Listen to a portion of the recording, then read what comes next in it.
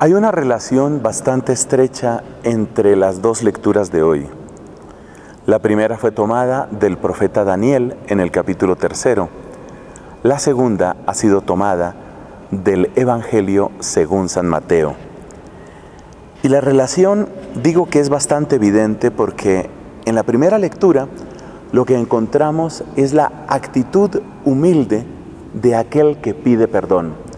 Y en el Evangelio encontramos la predicación firme de Cristo relacionando el perdón al prójimo con el perdón que esperamos de Dios. Yo creo que no hay modo de decirlo más claro que como lo dijo Cristo, si ustedes perdonan a los demás, van a ser perdonados. Si ustedes no perdonan a los demás, no van a ser perdonados. Así que el tema fundamental es el perdón. Pero está también ese tema de fondo que trae esta tercera semana de Cuaresma, el tema de la purificación. Si lo miramos bien, el perdón es una manera de suplicar de Dios una verdadera pureza. El salmo penitencial, el salmo de arrepentimiento, por excelencia, es el Salmo 51. Y en ese salmo le decimos a Dios, junto con el rey David, crea en mí un corazón puro, renuévame por dentro con espíritu firme.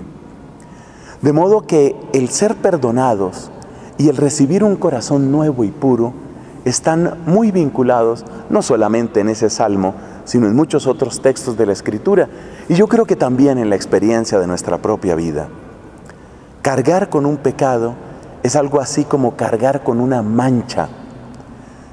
Se relaciona muchas veces en la predicación de la iglesia el pecado con una mancha, así como la mancha afea un cuadro o una escultura, el quitar esa mancha es devolver la genuina belleza, devolver la verdadera hermosura a ese cuadro, a esa imagen.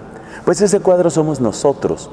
Nosotros somos imagen de Dios, pero esa imagen queda deformada, queda lastimada, queda manchada por el pecado. Y buscar el perdón de Dios es buscar que esa mancha se vaya, que se quite de nosotros eso que afea el plan de Dios en nuestra vida, para que aparezca plenamente su gloria, su poder, su bondad en todo lo que nosotros somos y hacemos. Con esta claridad, podemos entonces preguntarnos cómo se relaciona el perdón que pedimos y el perdón que damos. Y yo creo que hay una noción muy interesante que está en el Padre Nuestro y que nos puede ayudar a comprender esa relación profunda entre esos dos perdones, el perdón que esperamos de Dios y el perdón que hemos de ofrecer a nuestro prójimo. La palabra del Padre Nuestro que aquí nos interesa es aquello que decía una traducción antigua, perdónanos nuestras deudas, como nosotros perdonamos a nuestros deudores. Podemos decir que una deuda es como una cuerda, como una cadena que amarra a dos personas.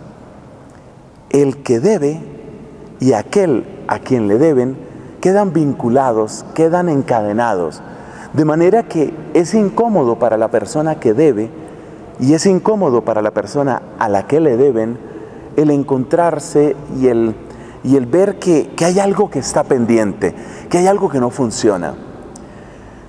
Y hago esta comparación, traigo este ejemplo, porque yo pienso que puede ayudarnos a entender por qué el mandato de perdonar en realidad redunda en bien nuestro. El mandato de perdonar es una manera de decirnos el Señor, mira, suelta eso. Cuando no perdonamos, cuando estamos condicionados, cuando tenemos algo contra alguien, realmente estamos, estamos como encadenados por ese recuerdo, por esa, por esa deuda, por ese problema. Y perdonar, ¿qué es perdonar? Perdonar es como soltar. De hecho, en el lenguaje del perdón, nuestra iglesia acude con frecuencia a esa idea. Cuando se da la absolución, por ejemplo, en el sacramento de la confesión, se dice que se está soltando a la persona. Absolver quiere decir soltar, desatar. El perdón desata, el perdón libera. Y por eso cuando nosotros perdonamos, estamos también desatando a esa persona, pero sobre todo, si lo quieres mirar desde un punto de vista casi egoísta, te estás desatando tú mismo.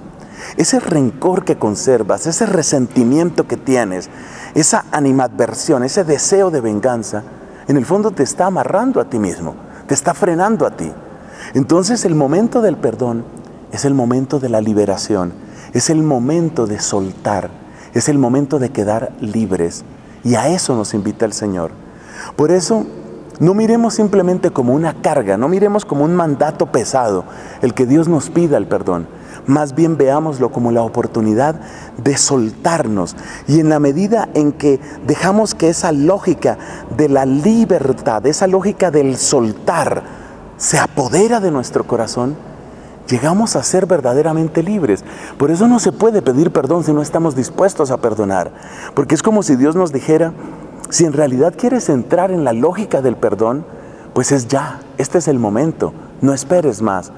Suelta lo que tienes que soltar y permite que Dios te desate. Amén.